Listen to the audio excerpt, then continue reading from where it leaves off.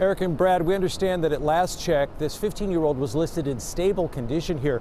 And as I look around, I can tell you that throughout most of the day, a City of Chicago police cruiser has been posted here on patrol. Now, we are not identifying this 15 year old, but his friends tell us he is a very talented musician and that the school where he was shot was like a second home to him. The Upbeat Music and Arts Center is locked tight today, but from videos posted to its Facebook page, it's easy to see that it's a place where teens have found their voice in music. On that same page, owner Scott Barbeau addressed last night's shooting, saying students and staff were kept safe thanks to the quick and courageous efforts of our teachers. He also sent out his thoughts and prayers to the injured intern who studied and performed at the school for years. The school tells us the front entrance is secured with keypads and a buzz entry system. The 15 year old intern was completing his front desk shift last night, and as a parent passed through the open door, so did the bank robber.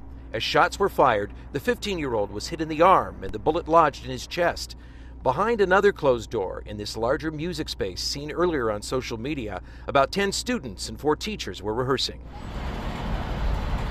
The 15 year old is a student at Lane Tech High School. His band has performed at Riot Fest and has posted multiple songs online. In a letter, the school's principal informed families the school's grief counselors and crisis team are available for those traumatized by the incident. In the meantime, Upbeat, which teaches as many as 200 students, is unsure how soon it will open again. At the end of the day, you might say that the student is related to three families. There's the family at Lane Tech, his family at Upbeat Music Center, and his own family that's at his bedside tonight. All are praying for him. Reporting live from Lurie Children's Hospital, I'm Vince Gerasole, CBS 2 News.